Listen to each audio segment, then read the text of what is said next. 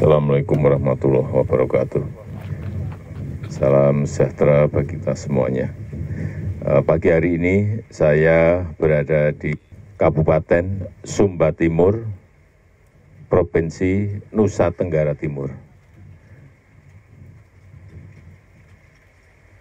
Dalam rangka peringatan yang diberikan oleh FAO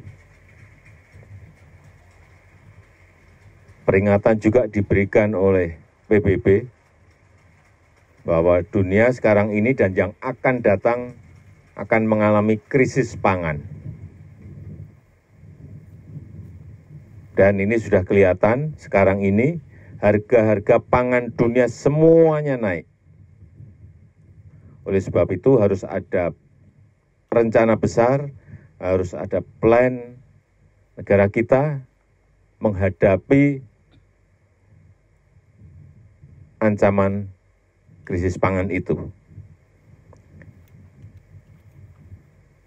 Kita ingin banyak alternatif-alternatif, banyak pilihan-pilihan yang bisa kita uh, kerjakan di negara kita, diversifikasi pangan, alternatif-alternatif bahan pangan, tidak hanya tergantung pada beras, karena kita memiliki jagung, memiliki sagu, dan juga ini sebetulnya tanaman lama kita. Yang ketiga adalah sorghum. Barangnya ini. Sudah dicoba di Kabupaten Sumba Timur, seluas 60 hektar.